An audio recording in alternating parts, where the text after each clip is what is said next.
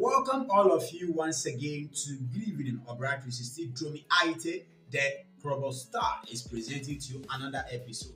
Tonight, the topic is on spiritual wellness, and the subtopic is how to maintain a calm life.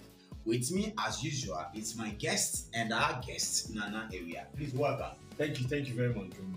Please, uh, viewers, Nana Area is the head of Kaniakom Enterprise, a human development and communication business in Tema. So tonight, Nanevia, how to maintain calmness? You believe that to make to have calmness is from the Holy Ghost. Yes, I believe that to have calmness is from the Holy Ghost. And basically, I believe this because the Holy Ghost is the Spirit of God, which is omnipotent, omniscient, and omnipresent, and which can guide us and which guides us in every step that we take. So we are able to take steps driven by God Himself. And those steps lead us to a situation of calm at all times. Please, who is the Holy Ghost itself? The Holy Ghost is the Spirit of God.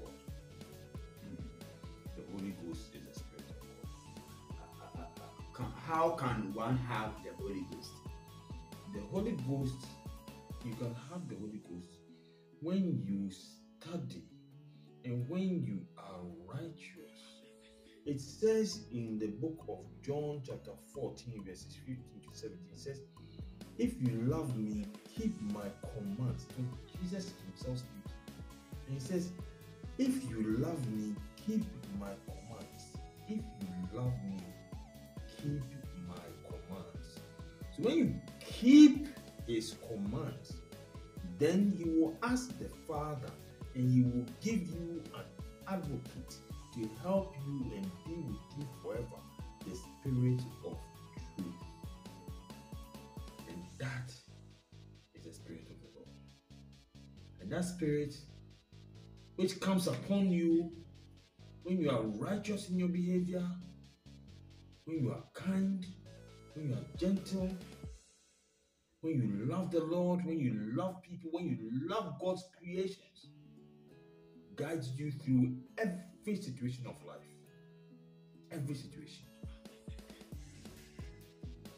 one who don't have the Holy Ghost, or one don't who don't even hear of it before, will ask this question: Where is the Holy Ghost? What city? What country is it based in now? What will be the answer to that person? The Holy Ghost is spirit. That's why it's called the Holy Ghost. What is a ghost? A ghost is a spirit.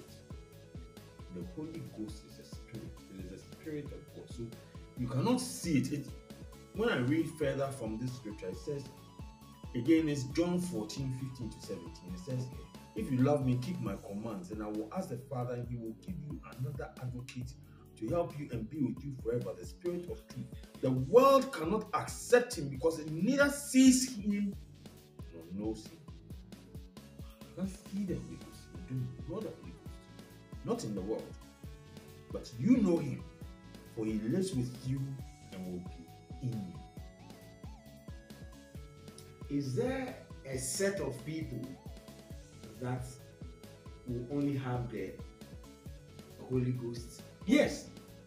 Yes. The Holy Ghost is ref- is reserved for the people who are honorable and who love the Lord. That is why it says, If you love me, keep my commands, and I will ask the Father, and he will give you another advocate. So, in other words, until you ask, God will not give it to you. Even if you ask and you are asking wrongly, if you ask and you are a miscreant, if you ask and you hate people, if you ask and you are a cheat, you will not get the Holy Ghost. You will not get his guidance. You will not get the Spirit of the Lord. All right, bringing the program to an end, I would like to ask this question for how should one ask for the presence of the Holy Ghost? You ask for the presence of the Holy Ghost by loving the Lord. By loving the Lord and loving his word and loving other people. When you love the Lord, you are diligent in studying the word and knowing the word. and imbibing the word into your system. And you become clean. When you are clean, the Holy Ghost will accept you and be with you.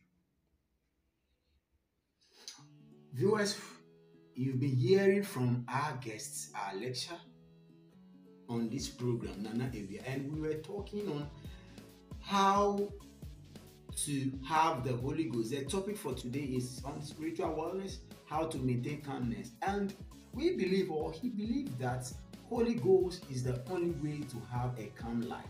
We've been talking on how to activate the Holy Ghost. Nanevia, please, before I ask him of his last word, please share the program and leave your comment because we'll be reading all of your comments very soon in this program. Nanevia, please, what will be your last word for the public? My final words are there are many, many, many, many things that have been done by people over many years to have calm. There are many, many, many things. People do so much to have peace of mind.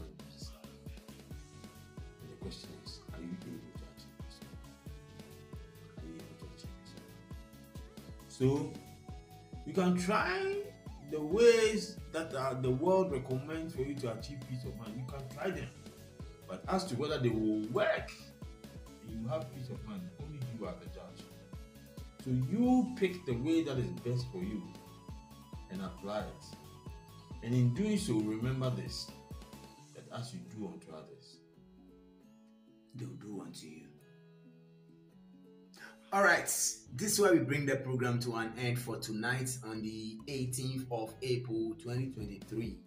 From Tema, good evening, Obra 360. I'm Dromi Aite. My guest was Nana Evia. He's the head of Kaniacom Enterprise.